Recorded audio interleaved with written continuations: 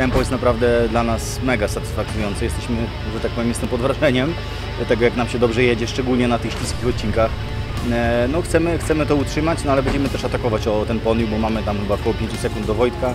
Będzie, będzie oczywiście ciężko, no ale zrobimy co w naszej mocy, żeby, żeby może przeskoczyć jeszcze jakieś oczko jedno.